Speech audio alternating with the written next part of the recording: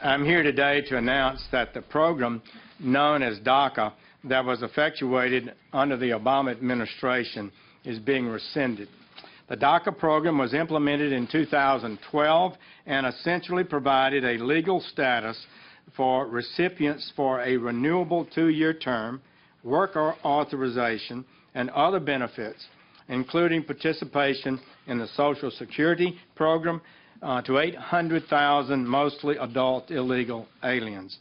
The policy was implemented unilaterally to great controversy and legal concern after Congress rejected legislative proposals to extend similar benefits uh, to, on numerous occasions to this same group of illegal aliens.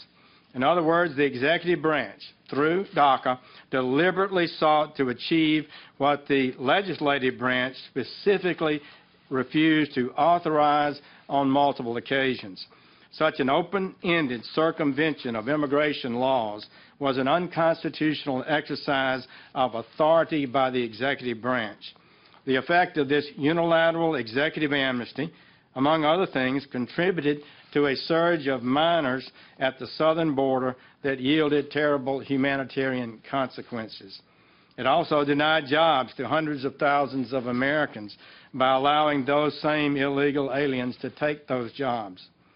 We inherited from our founders and have advanced an unsurpassed legal heritage, which is the foundation of our freedom, our safety, and our prosperity. As Attorney General, it is my duty to ensure that the laws of the United States are enforced and that the constitutional order is upheld.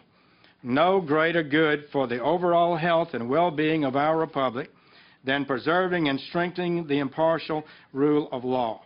Societies where the rule of law is treasured are societies that tend to flourish and succeed. Societies where the rule of law is subject to political whims and personal biases tend to become societies afflicted by corruption, poverty, and human suffering. To have a lawful system of immigration that serves the national interest we cannot admit everyone who would like to come here. It's just that simple. There is an open, that would be an open borders policy, and the American people have rightly rejected that. Therefore, the nation must set and enforce a limit on how many immigrants we admit each year, and that means all cannot be accepted. This does not mean they are bad people or that our nation disrespects or demeans them in any way. It means we are properly enforcing our laws as Congress has passed them.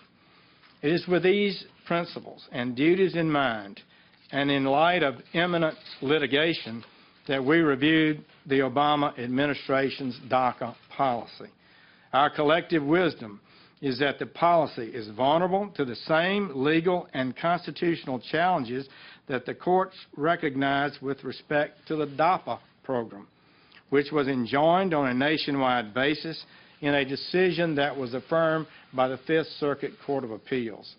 The Fifth Circuit specifically concluded that DACA had not been implemented in a fashion that allowed sufficient discretion and that DAPA was foreclosed by Congress's careful plan, close quote.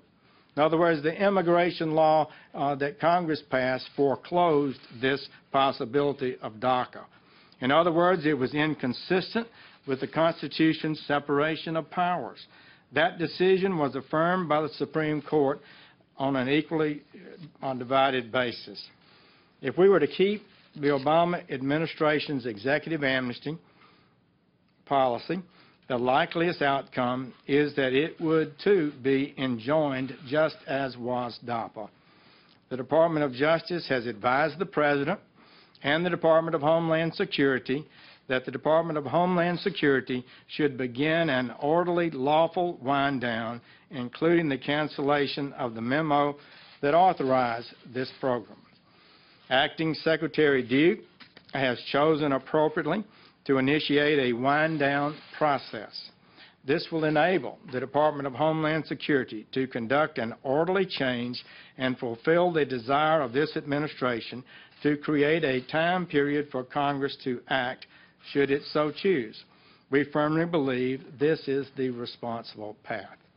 Simply put, if we are to further our goal of strengthening the constitutional order and the rule of law in America, the Department of Justice cannot defend this overreach.